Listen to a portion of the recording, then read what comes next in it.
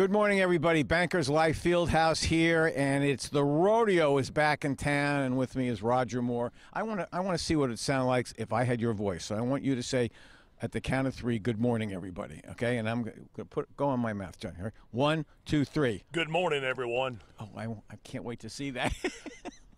Good to see you. It's good to be back. Lots and lots of great acts this time, right? No doubt about it. Cowboys, cowgirls, and you, we've got you covered at the world's toughest rodeo. Who's that, Roger? This man is from Holladay, Tennessee, Jerry hmm. Thornton, and it's always a holiday when he comes to town. Mr. Bojangles is in the house. All right, I'm going to walk over here.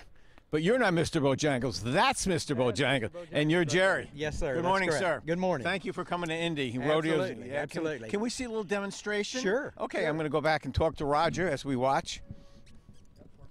Oh, my goodness. One of the toughest things horses can do is do that right there. And then if they can walk on their back legs forwards, it's amazing. They can do it backwards like the great Lipizzaner stallions of Europe. He'll curtsy to the crowd and say humbly, thank you. Jerry is an animal trainer extraordinaire that's been on the road for over four decades. And whether it's a military march, a pee-off, he has this animal reared up, reared up, and ready to go What for did you the call that, a what off?